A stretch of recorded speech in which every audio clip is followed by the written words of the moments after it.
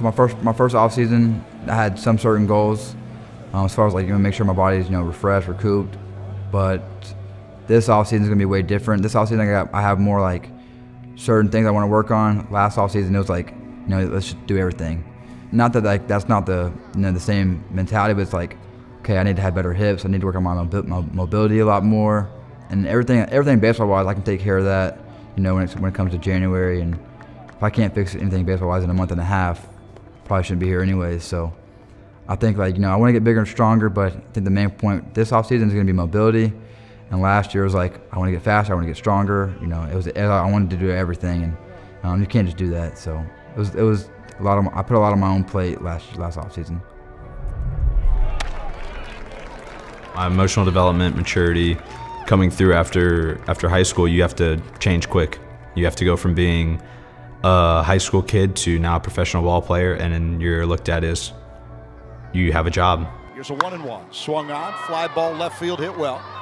Booker going back, still chasing. It's going to be a two run home run. Jahmai Jones having himself a series. 17 when I was drafted, 17 in my first professional season, and the things that you have to learn at that age, at that time, when given the opportunity, you have to adapt quick. You have to be able to go with the flow and be a quote unquote man when it comes to certain decisions on who you're going to hang out with, who you're going to say yes to, who you're going to eat with, who you're going to be around at the field. Are you going to put in extra work? Are you going to get your lift in? And I had to get in a routine of something that I had to think about what is best for, for myself and what is best for the organization.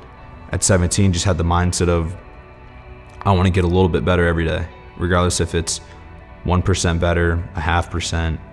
If I move an inch forward every single day, it will ultimately lead me to the progress and the, the growth that I wanted to see by the time it's ready for me to get the call to, to play for the, the LA Angels or whatever team it may be out of the 30 teams. You know, you always find someone that's that's older than you, guys on rehab, and several guys that had been in the bigs or had been up and down double A, triple A. If you're willing to ask, they're gonna help. I mean, there were several pitchers that I ran into through my years coming up. I mean, several guys. Andrew Heaney came down. I, I was able to talk to Heaney for a while. Skaggs, when when he was down on rehab and everything, I faced him several times and was I mean, able to build a really good relationship with him coming up. Two full seasons. Tyler Skaggs has thrown the ball very well in his rehab assignment, especially of late. He was one of those guys again that just an open book. Anytime you wanted to talk to him, you wanted to learn something, he wanted to ask you how he looked, how he how this come out of his hand or you ask him how are you trying to set me up? What did you see?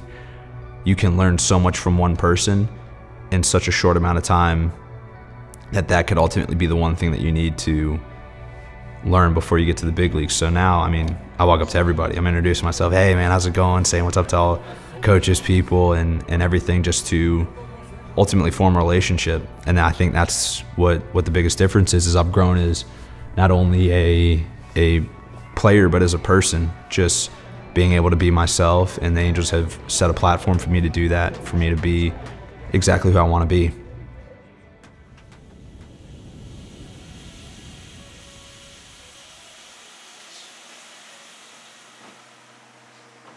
Yeah, I've always like bounced those thoughts around in my head, like the the thought of like, oh, guys that were drafted in your draft class are already up there. Guys that are younger than you are already up there. Like, why aren't you up there? And it's like, I'm fully confident that I could have made it up to the big leagues this year had I performed. But, um, you know, like I've, I've made those comparisons in my head and that's like a super tough like thing to swallow is guys like already being up there and, you know, performing in the show. But, you know, my time will come. Everybody's road to the show is a little bit different. You know, you know, mine's, mine's no different. So that's just how I'm taking it. I still have a lot of growing up to do, anyways.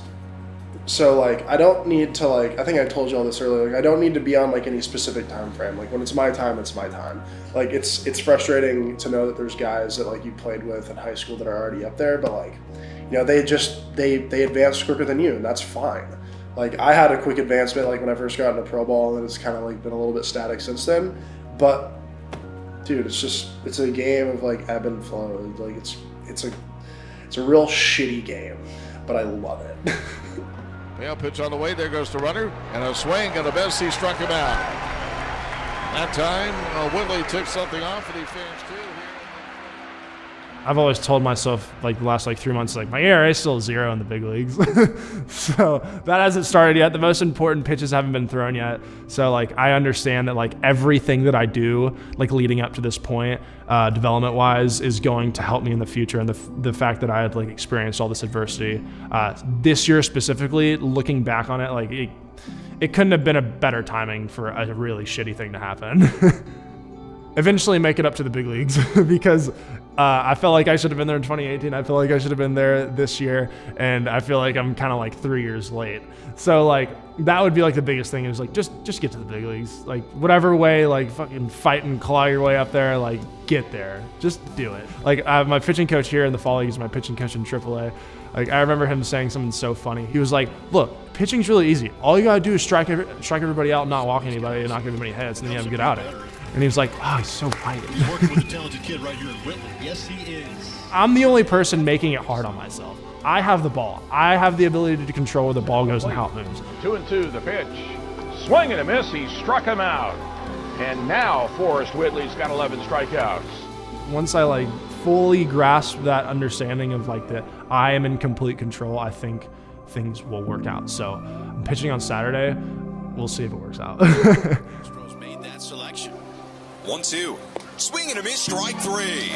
Forrest Whitley strikes out the side in the fourth inning. We have a new pitcher for Georgia Gwinnett. That is Cole Uvila, senior righty. Did not pitch that well as a starter. Uh, I had some really bad outings. I mean, I, you know, just couldn't really piece it together. I mean, I had flashes where I'd go like nine up, nine down, and then run into some trouble and you know inconsistent, and specifically struggling with the second time through the order.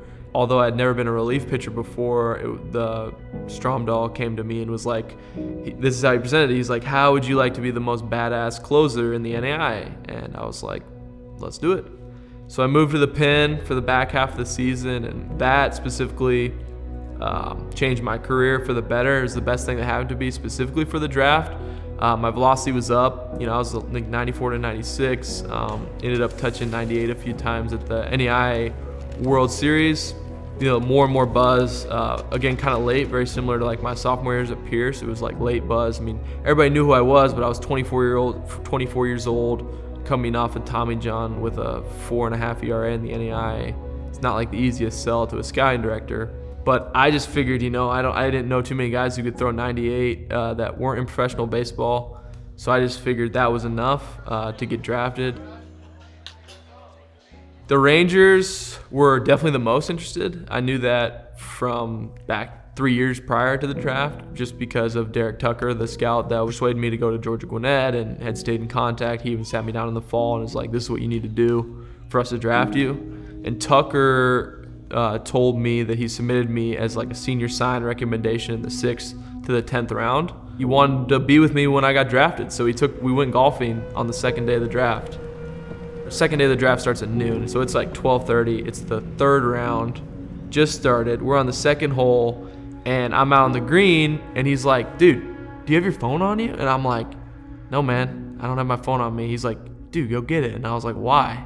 He's like, "You never know." And I'm like, "Tucker, it's the third round, dude. I'm not, I'm not going that high." And he's like, "Dude, you never know. Go get your phone." And so, to me, I mean that that shows that he really believed that I was, you know, he was what he submitted me as. Second day came and went, and it ended. We were at uh, me, Derek Tucker, and Adam Scott were all there. Uh, my pitching coach at Georgia State, who ended up becoming pretty good friends with Tucker. Um, we're all there, and he's like, "Listen, man, like, you know, it's out of my control at this point. You know, as as much as you know, I can do and say whatever. At the end of the day, I'm just an area scout. Um, but I, you know, you're you're gonna get drafted tomorrow. Like, don't worry about it." And so that morning, I got up. Um, I, my girlfriend at the time, fiance now, uh, we got in the car with our dog Lola and had our whole apartment packed, and we started driving back to Seattle with you know all the expectation I was going to get called very early in the day and, and be with an organization. And that day was a really long one, and I, I was really I was really confident. But as the day went, my confidence kept dwindling and dwindling. And I remember in the 35th round, I was looking at apartments in Kent um, just to see what the market was because I was pretty sure for whatever reason, it didn't make much sense. If I hadn't been drafted already, I probably wasn't getting drafted at all. 38th round comes around for the Rangers, and at this point, I'd pretty much figured, well, the Rangers were the only team drafting me since I hadn't heard from anybody else. 39th round comes around. Uh, the, they took a quarterback from Michigan. Kyle Bodie was in the he was in Arlington in that draft room that day, and he'd kind of been texting me like, "How you holding up?" And I was just like, I was really honest with him. I was like, "It doesn't make any sense to me, man. Like, I don't really know what's going on. It's kind of discouraged again." Um, he's like, "Well, you never know. You know, we." He's like, "You never know. I mean, just hang in there." Like Twitter was on the Marlins, who were a couple picks before, and I was refreshing seeing the Marlins pick someone, and I get a text from Kyle. He said he's like, "Congrats, you idiot! You're a Ranger." And I was like, "What?" And then by that time, my phone just kind of exploded because then it became public. Rangers select Cole Uvila, right-handed pitcher from Georgia Gwinnett College. Funny part about that day is my dad was at home. He listened or watched every pick through the 39th round. And when the Rangers took Shea Patterson, he was so frustrated and so distraught, he shut off the computer and went for a walk to just cool off.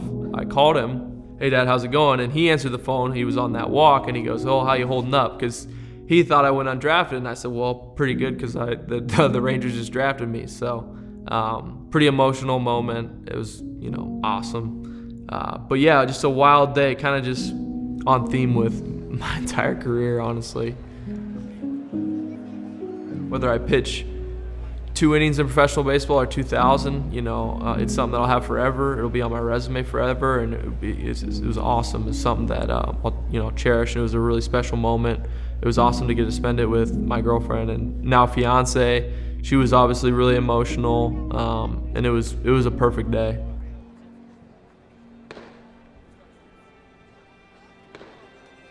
I mean, it was laid out to me really good by my area scout. He's like, listen, you're a 24 year old 40th rounder. I mean, you have to be the best pitcher you can be every time you go out. I mean, it's game seven of the World Series. It doesn't matter if you're up 14 or down 14. And he's like, those are the, at first, those are the outings you're going to get. I gave it everything I had. And I just embraced that. And it's honestly shaped me to be who I am. I mean, once I kind of saw success with that, and it's kind of what transitioning into the bullpen did for me from being a starter to a reliever, it just kind of like, you know, I'm not out there pitching with my hair on fire, but, you know, I'm damn near. You know, I've had that chip on my shoulder um, since I started, and just, it's kind of grown, honestly, through the whole process.